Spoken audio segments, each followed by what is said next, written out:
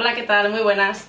Pues nada, hoy quería hablaros de tres de las brochas que yo considero más importantes a la hora del maquillaje, porque si bien en el maquillaje, en el mundo del maquillaje, de los looks y demás, es importante eh, conocer cómo aplicar cada producto, lo es muchísimo más saber cómo corregir los errores que hacemos cuando nos maquillamos. ¿Vale? Muchas veces nos estamos maquillando, nos ponemos la base o después el colorete, el polvo de sol y decimos, ostras, pues me he pasado me he pasado o de repente tengo ahí unos cortes o me pongo el colorete y me veo claramente el cerco de donde empieza y donde termina. O como os decía con el polvo de sol pues me marco demasiado la frente y se me nota un corte de color. Eh, o a la hora de aplicar el contorneado tanto en crema como en polvo me alejo de, para mirarme bien y me sigo viendo un poco de corte porque siempre en maquillaje lo que realmente eh, va a cantar por así decirlo son los cortes. El ojo lo que ve son los cortes, no es tanto la oscuridad eh, como el contraste y demás, sino el corte que se produce entre una zona y otra, es decir, que se note dónde empieza un producto y dónde termina, ¿vale? Por ejemplo, a hora del colorete, o como os digo, de la base, de lo que sea.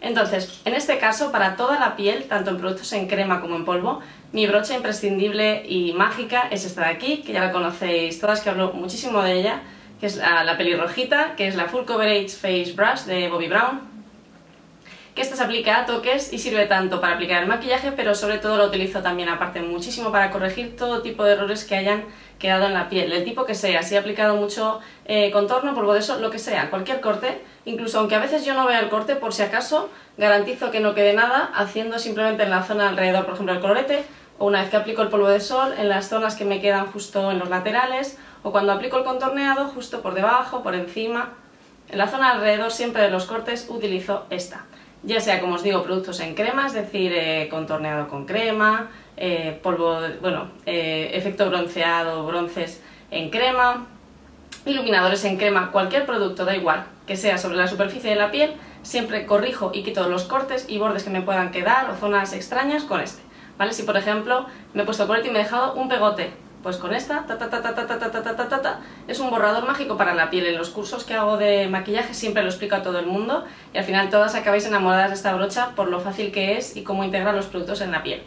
Y lo mismo en polvo, ¿vale? Si yo pongo el polvo de sol, como os comento, o el contorneado, cualquier tipo de producto, tu, tu, tu, lo quito con ese. Inclusive el iluminador en polvo, si me he puesto demasiado o aquí lo he subido muy arriba, cualquier cosa que no quiera que esté ahí, damos a toques y se va a integrar perfectamente en la piel. ¿Vale? Por lo tanto, esta es mi brocha mágica e imprescindible para todo lo que es la piel. Y en la zona del ojo tengo dos brochas que son mágicas. A la hora de las sombras, la brocha que realmente borra todo es esta de aquí, que es la Eye Sweep de Bobby, ¿vale?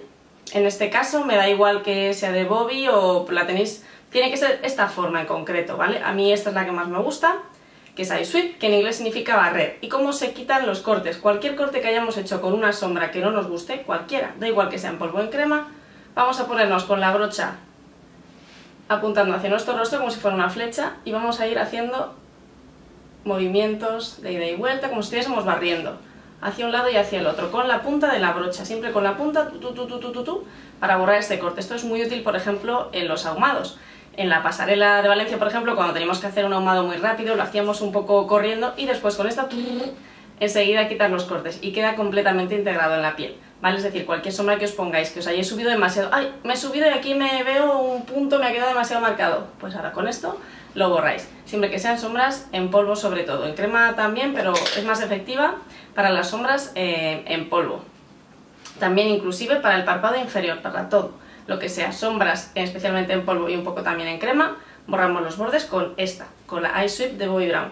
Ya os digo, aparte de aplicar color evidentemente con ella, que también lo hace, y depositar eh, color, siempre que esté eh, limpia la brocha y utilizamos la punta, como os digo, como borrador mágico. Se me olvidó decirlo, pero esta brocha, cuando quitamos los bordes, o estemos utilizándola para borrar, realmente lo que utilizamos es el restillo de base de maquillaje que nos haya quedado en la brocha. No hace falta que esté completamente limpia, ni siquiera hace falta que cojamos más producto de maquillaje.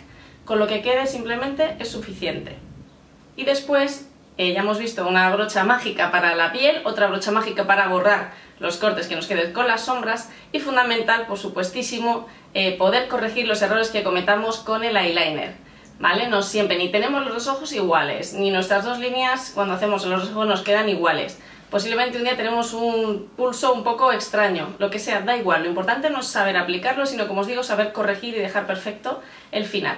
Es decir, con esta brochita de aquí, que es la eh, Concealer Blending, también de Bobby, que esta en realidad es para aplicar el corrector de ojeras, que lo utilizo yo mucho, lo que hago es utilizo la punta como borrador, es decir, si yo quiero hacer una línea perfecta, lo que hago, una vez que he trazado el eyeliner, si me ha quedado un poco irregular o simplemente quiero que quede muy recta, muy recta, la pasaría por debajo a ras. Si necesito corregir incluso más todavía en esta zona de aquí abajo, porque quiero que quede realmente perfecta, cogería un poco de corrector por delante y por detrás de la brocha, porque si cojo producto por delante y por detrás, me quedan planos los laterales y el producto se va a venir a la punta, que es con lo que voy a trabajar.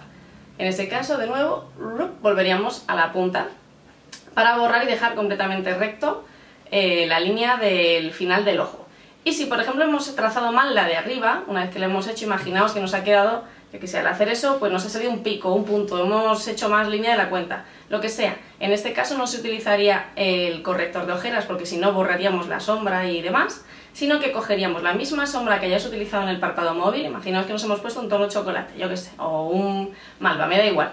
Cogeríamos con la sombra en polvo, ¿vale? O en crema, la que hubiéramos puesto, por delante y por detrás, lo mismo para dejarla plana a los laterales y que el producto viniera a la punta y ese día con la punta con lo que iríamos poniendo justo a ras de ese corte que nos haya podido quedar. ¿Vale? De esta manera no solo borramos y dejamos más perfecto el corte, sino que además lo hacemos con la sombra que teníamos previamente en el párpado móvil. Con lo cual va a quedar eso perfecto, no se nos va a ver ningún tipo de, em, de corte duro entre el eyeliner y la sombra y va a quedar perfecto. Si no hubieseis puesto sombra en el párpado y simplemente habéis hecho un eyeliner, pues lo hacéis en principio con la brocha limpia y si no, pues igual, con el corrector o con una sombra prebase que va mejor para el párpado móvil que un corrector de ojeras, de estas que no tienen color, ¿vale? Por ejemplo, la Shore de Boy Brown o Painterly de MAC o Soft Ochre de MAC de los Paint Pot, me da igual. Cualquiera de ellas, bloop, con la punta, lo utilizaríamos para dejar más perfecto el eyeliner. En el caso del eyeliner es cierto que esta brocha es la que yo utilizo más, pero también nos sirve cualquier tipo de brocha que sea plana y que tenga la, la punta o bien ligeramente ovalada como esta, o bien recta, por ejemplo la 212 de MAC, también va muy bien porque es muy precisa para quitar los bordes. Lo que ocurre es que esta, al ser un poquito más flexible, ligeramente abombada en su parte superior, me permite llegar mejor a algunas zonas que la que es completamente recta no me facilita el, movimiento en forma curva.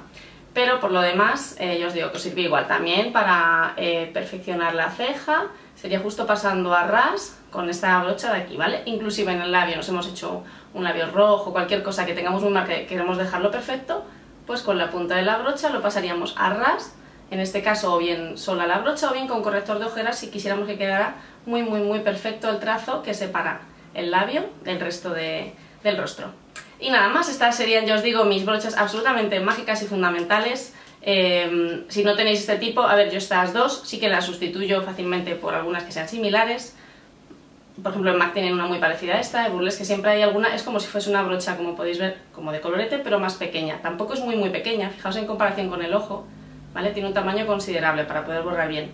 A mí esta me encanta, la Eye Sweep de Boy Brown, pero bueno, entiendo que la que realmente yo no podría sustituir nunca por ninguna otra sería la, eh, la pelirrojita, porque me encanta, no sé, ya os digo, siempre os digo en los vídeos que es mi brocha absolutamente favorita para aplicar la base de maquillaje, de momento no conozco otra que, que deje la piel igual, que integre los productos igual, así que de momento, pues eh, hasta que no conozca otra que me entusiasme muchísimo más, esta es mi favorita, seguida por la Beauty Blender, la esponja, pero bueno, siempre la veo un poquito más antihigiénica, así que nada más. Con estas tres brochas podéis corregir todos los errores que hayáis cometido a lo largo de la piel, con lo cual no tenéis que tener miedo de si me se me ha caído la sombra, cualquier cosa, va, a toquecitos. ¿Que me he hecho un corte? La limpiamos. ¿Que la eyeliner no ha quedado perfecto? Lo corregimos. ¿Que el labio tampoco? Pues lo corregimos también. Así que nada más, no hay que hacerlo todo perfecto a la primera, simplemente sabiendo cómo ir corrigiendo poco a poco, eso sí, con mucho cuidadito. Así que nada más, que espero que os haya sido eh, eh, práctico el vídeo, que os haya resultado útil. No olvidéis, como os digo siempre, suscribiros a mi canal arriba abajo donde dice suscribirse, dedito arriba, dar a me gusta si os ha gustado el vídeo y compartirlo con todos aquellos a los que creáis que les pueda resultar de utilidad.